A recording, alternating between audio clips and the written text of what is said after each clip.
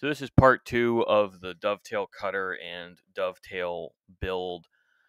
The audio quality was remarkably bad. Uh, just recording this live, so I'm, I'm doing a voiceover after the fact. Now, what I did have some trouble with is after polishing out some tool marks, the shank of the cutter was about one thousandth under size, which is unfortunate, but not the end of the world it still held well enough to finish the job. I had a little more run out than I would like, so I was forced to take lighter cuts. Now you can see here I'm using a carbide end mill um, with the tool itself being held in my dividing head. I wound up cutting this four flutes. Uh, the original plan was two, but I think that the web wasn't going to be quite strong enough. The web of the tool being the center section. So, you know, I did this in a couple of passes to get on center, marked the digital readout uh, on the, the mill to, you know, set where to stop. I locked the gib so I could not travel on the Y as I wanted to be the same equidistant across all of the flutes. And I did all my cutting in the X axis, as you can see here.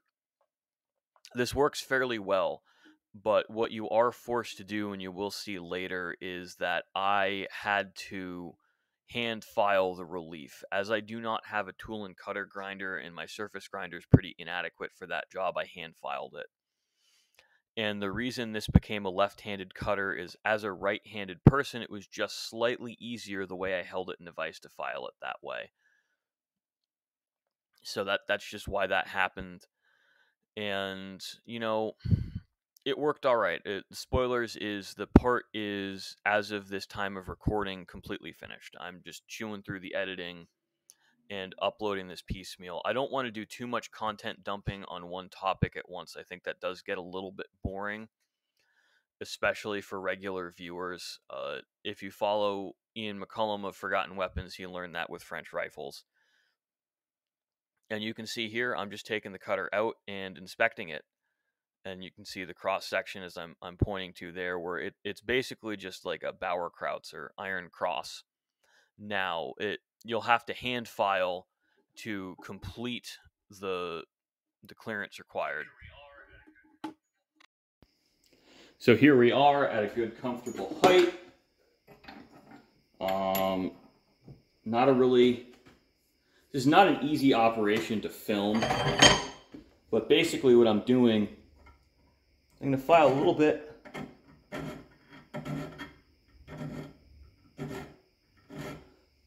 Of aggressive cut into one tooth. And I'm going to file some clearance.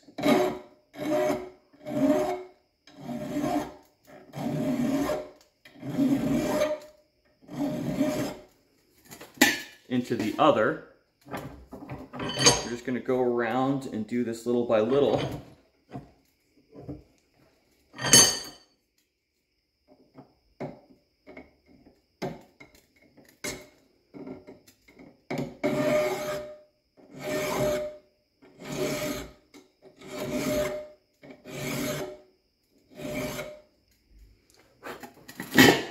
It's not going to be even on all the teeth, but it's going to be even enough.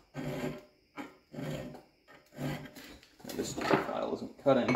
It's worn out.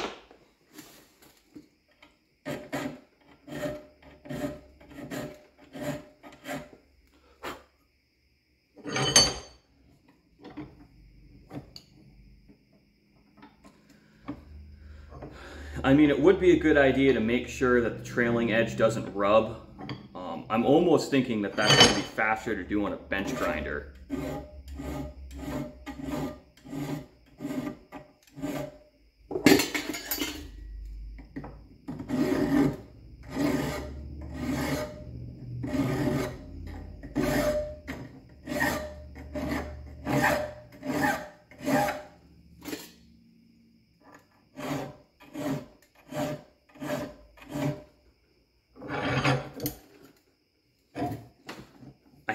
I, I know we're gonna get away with this because I'm cutting brass, I'm not cutting steel.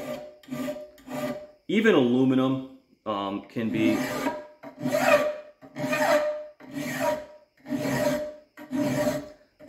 fussier than brass.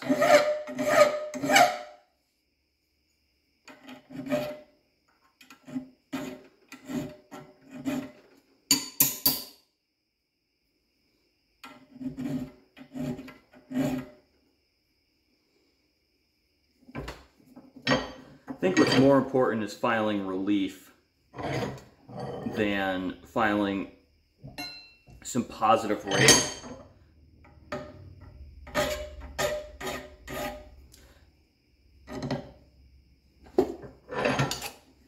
Now this round hand filing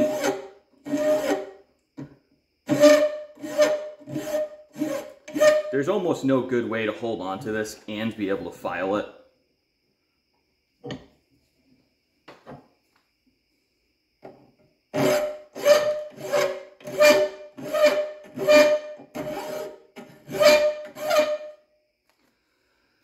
Am thinking because this is going to cut brass, I might not go through the trouble of surface grinding it to sharpen the teeth. I may just stone them. I think this is going to work. So that's your cutter profile. We'll find out in a little bit. I think I'm just going to stick something on the mill and take a test cut and see what happens. So this is really as simple as it gets for hardening. I'm going to use an oxy fuel torch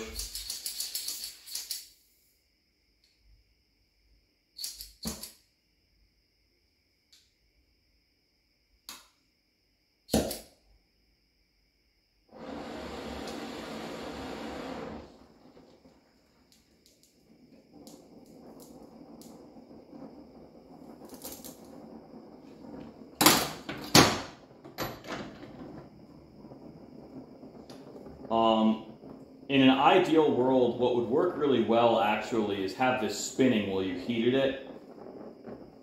So that way you could get more even heat. I just constantly move the part. And well, I'm going to actually heat this up red hot and quench it twice. Because I know I induce some stress machining. And it's, it's a thermal cycling process. So you want to hold it at that critical temperature for a little bit. That really does help your hardenability and toughness.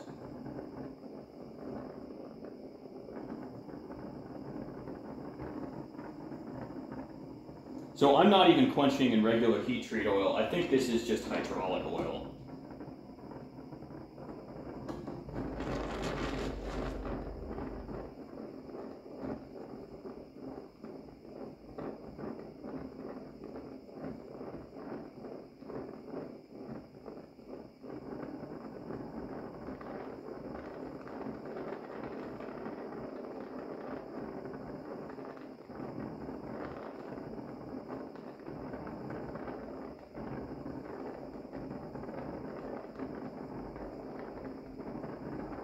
Now on the second pass, I'm a lot more careful to really hold it at temperature.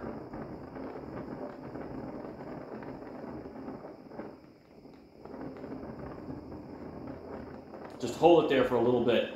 Even, you know, 30 seconds makes a massive difference.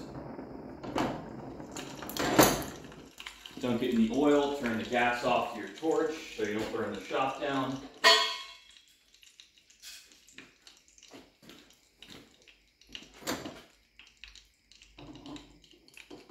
And now we should have a nice hard heat treated part that we just dropped in the oil. I am gonna get a nice pair of pliers, fish that out, temper it, and then I'll show you guys what's going on. So this is the end of part two. Uh, we got the cutter hard. Uh, and also just an explanation, I, I like to have the oxyacetylene torch very, very rich for this because I'm I kind of get a softer heat with the brazing tip. I don't have another brazing tip. I just have cutting tips, which don't work as well for this. So the softer flame spreads the heat. You don't get as many hot spots. You reduce your warping. So right after this, the cutter went in the kitchen uh, toaster oven for tempering, which doesn't go over well with roommates, but they will survive. So in the next couple of days after this, I should have part three live. So thanks for watching, guys.